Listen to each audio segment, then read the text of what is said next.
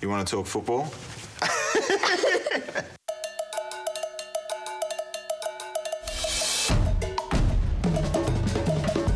You don't have a team. You've Gotta have a. You gotta have. You've got to have a team. You've gotta have a team.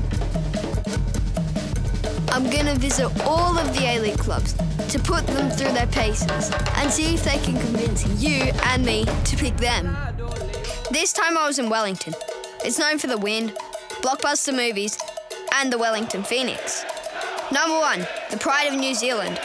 They're a proud team. When I got to their stadium, the Cake Tin, I got a traditional Maori welcoming.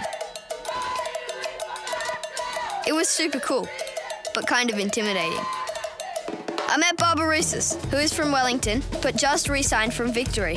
Mossy, their keeper, who is Kiwi, and Durante, their captain. Hello. Welcome to sunny Wellington, mate. Yeah, thanks. Always sunny, never windy. Totally. I, I, I don't believe you. he's Aussie, but he's played here for nine years.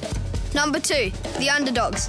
If you love the underdog, then Wellington are it. They've shocked some big teams in their nine years in the league. The players told me about their super passionate fans, the Yellow Fever.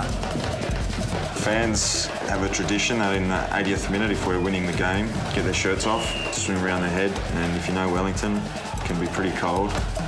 Number three, Masters of the Wind. Wellington is known for the wind, and boy was it windy. Yoshi, here we are, buddy. Top of Mount Vic. Uh, if you can play football here, you can play football anywhere in the world. These guys are pros in these conditions, which means they have a serious home ground advantage. The players were so passionate about their team. They have a lot of cool things going for them. Thanks, Wellington. Right, where's next?